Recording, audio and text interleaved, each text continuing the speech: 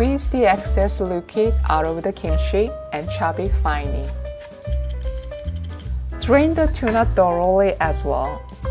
Heat 1 tablespoon of cooking oil in a heated pan and add the kimchi. Stir fry the kimchi for a few minutes. Then add 1 tablespoon of gochujang, 1 tablespoon of sugar,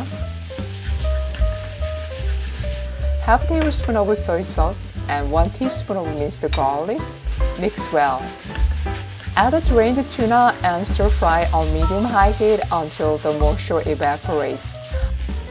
Once the moisture has mostly evaporated, turn off the heat and mix in 1 tablespoon of sesame oil and 1 tablespoon of sesame seeds. Tuna kimchi stir fry is now ready.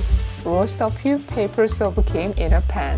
Later, I will crush these to use in the rice bowls. Put about 2 bowls of rice in a bowl, 2 pinches of salt, Put 1 tablespoon of sesame oil and 1 tablespoon of sesame seeds. Mix well.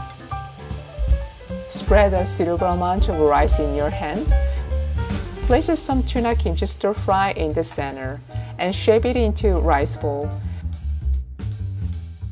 Put the roasted kim in a plastic bag and crush it finely.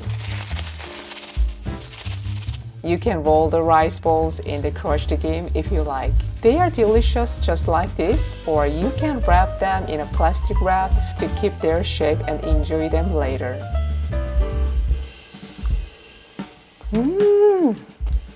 The taste is phenomenal. The very flavorful tuna kimchi rice balls is done.